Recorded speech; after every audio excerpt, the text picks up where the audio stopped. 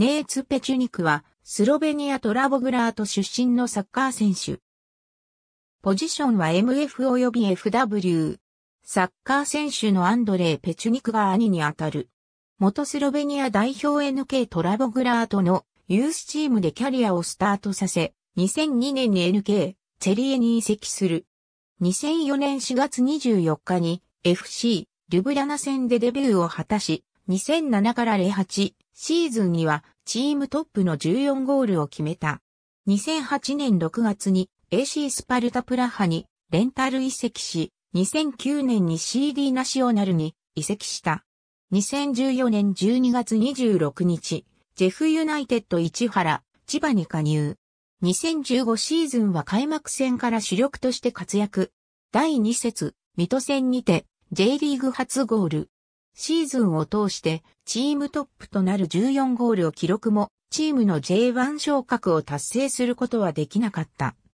シーズン終了後の2016年1月2日、大宮アルディージャへ完全移籍。2017年7月26日、栃木 SC へ完全移籍。同年最終節のアッスルクラロ沼津戦にて同点ゴールを決め、チームの J に復帰に大きく貢献した。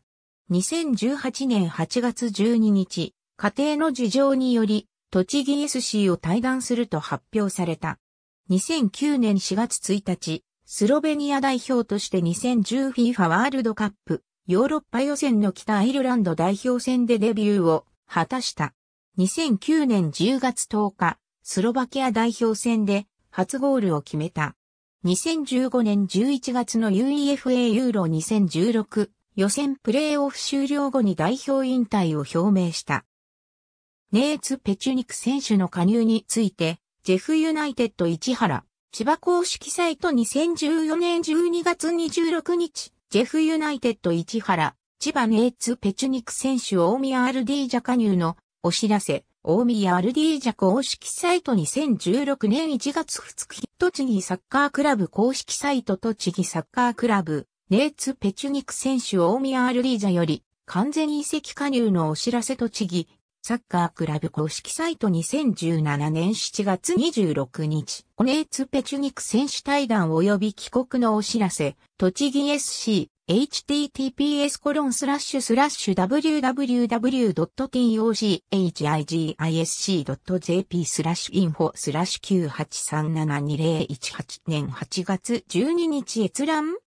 スロベニア代表引退を決断したペチュニク、今は世代交代の時。フットボールチャンネル。2015年12月29日閲覧。ありがとうございます。